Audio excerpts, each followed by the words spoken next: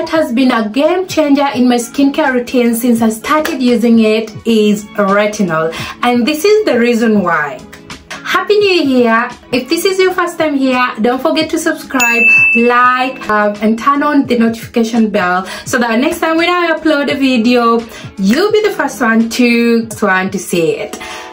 If you're new to skincare, I got you covered with a retinol skincare routine and I'm also going to show you some of the mistakes to avoid when you start using retinols. So there's so many mistakes that so many people do make when using when starting using retinols and then they stop using retinol when they have irritation and I am going to show you all of that. So let's build this skincare routine together.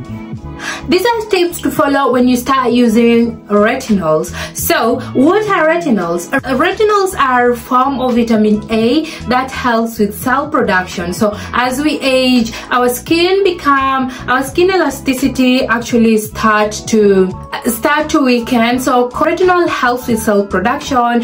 In form of that, the, it produces uh, collagen. Collagen helps a lot with skin elasticity. So, these are the, some of the tips that you're going to avoid. You always want to start by washing your hands before you do any skincare. So I'm going to use this uh, CeraVe Cream to Foam Cleanser. On the days that you're using retinols, on the days that you're using retinols, you want to avoid cleansers with AHA, BHA, AHA or BHA. So example of those cleansers are like this one from CeraVe this one from CeraVe. These are these are ingredients AHA, BHA. These are ingredients that if you mix them together, they are going they might start irritating your skin. So I'm going to use this CeraVe cream to foam cleanser. So the number one tip that you want to follow when you use a retinol is that you want to start slowly. Slowly I means you want to start maybe two two to three times a week. So you want to start two to three times a week so if you can use it maybe twice or three times a week. And if you see irritation you want to start spacing it out. So if you're somebody who uses a if you want if you use a retinol monday tuesday and wednesday and you start seeing a irritation in your skin you start seeing irritation in your skin you want to slow down. Maybe you start using it once per week the other tip is that you want to apply retinols at night. The reason why you want to apply retinols, I'm going to use this toner from uh, Anua Heart Su Anua Heartleaf. The reason why you want to use retinols at night is that cell production, cell production do happen at night. So if you use use retinol at night it's going to help with the cell production that happens at night so after cleansing your face some people prefer to just apply retinol direct but i always try to use a toner with it Retinols are going to exfoliate your skin. Retinol will even your skin tone. Retinols will help you if you have wrinkles and you have fine lines. That it's going to it's going to reduce that. And retinol will give you that glowy glass skin that your skin that your skin might need. So after applying a toner, you want to avoid, avoid, avoid, avoid using retinol on wet face. So I'm going to talk about the mistakes to avoid while using retinol. So I'm just going to let my skin dry fast, then I will apply the retinol. So my skin is dry. My skin is dry. I'm just going to apply this retinol as I talk about the mistakes you want to avoid. Uh, you want to avoid while using a retinol or the mistake you're going to avoid when you start using your retinol. So I'm going to use this Anua, Anua Retinol 0. 0. 0.3 niacinamide and renewing serum and if you are a beginner if you are this is a little bit advanced retinol if you are a beginner you want to look for this you want to look for this CeraVe CeraVe resurfacing retinol serum.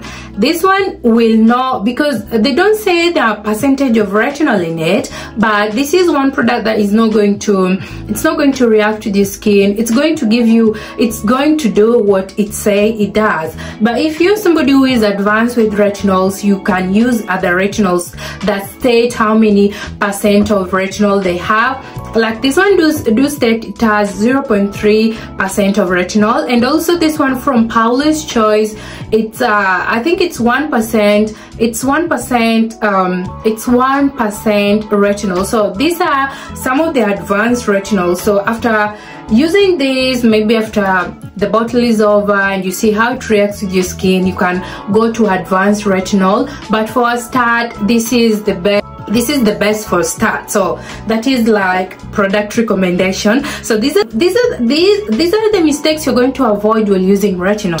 First of all while using retinol you want to use a small a small as just a small amount. This isn't enough for your skin.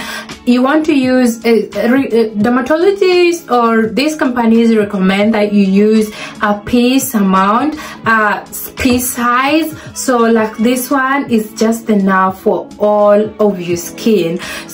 Don't use a lot of retinol you want to use a very small amount of it. Then the next the next thing you want to avoid while using the next mistake you want to avoid while using retinol is applying retinols on the sensitive area like on your eye area. And also I always avoid because I have very sensitive I have very sensitive skin over here. I do get a lot of redness if i get irritation. These are the areas that i get irritation. So i uh, also avoid applying retinols on those areas. But if you're somebody who is very who is whose skin is very irritated a tip I found that helps me a lot is before I apply retinol, especially those days my skin is very irritated sometimes and I want to use retinol, I always uh, get a Vaseline and apply it on my on my eye area so that if retinol goes on that that area it doesn't affect it doesn't affect my it doesn't irritate my skin. So that is one mistake you want to avoid. You want to avoid using retinol on sensitive area the next mistake you want to avoid is using retinol on wet skin. This is very this is very important. If you use retinol in, on wet skin it's going to irritate your skin. You're going to get irritation a lot and a lot of irritation. Then the, the next mistake you want to avoid is when using retinol, you want to make sure you use a sunscreen.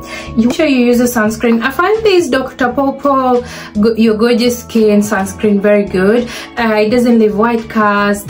Retinols are going to renew your skin. You're going to get a new skin. It's like you're going to get a baby skin. So this is a new skin. So if you go out in the morning because you use retinols at night. If you go out in the morning your skin you have a new skin you need to protect it. You need to protect it from sun. So you need to use a SPF which is 30 30 SPF sunscreen which is 30 SPF and above. So you want to make sure you use sunscreen next day after using retinols at night.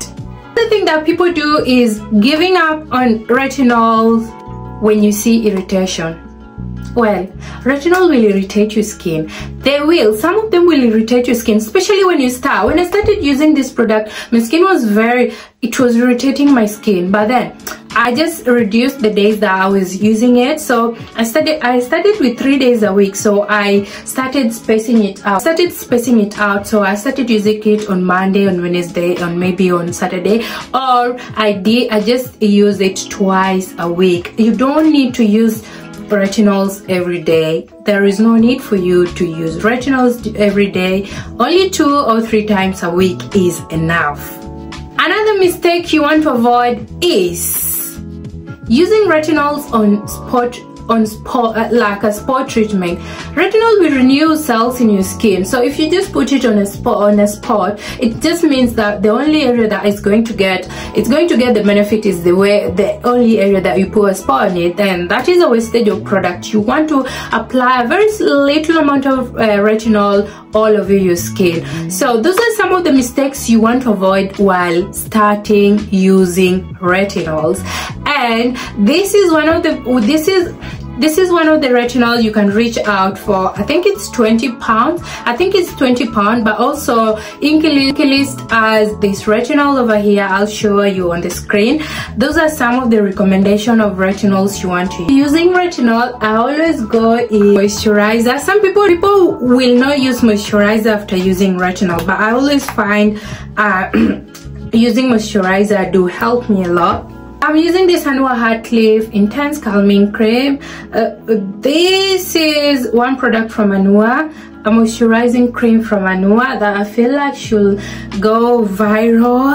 I always say that on my videos, but I love this product. It's amazing. The moment it lands in your skin, it makes your skin so, so, so it calms your skin and it it makes your skin very very calm it has Heartleaf which is which helps to calm the skin antioxidant hand retinol i always follow it with a moisturizer. You can use any moisturizer of your choice. This is how my skin looks like. This is a beginner friendly this is a beginner friendly skincare routine and that is how you can build your skincare routine with retinols. And i've also mentioned recommendation and i've also mentioned the mistakes that you um, you need to avoid while using retinol so and also you want remember your skincare is about consistency you want to be consistent with your skin you want to drink water to drink water you want to give your skin time to adjust and I believe this video was helpful to you. This is the end of this video. Don't forget to subscribe and I will see you and turn on the notification bell and I will see you in my next video. Thank you for watching. Bye bye.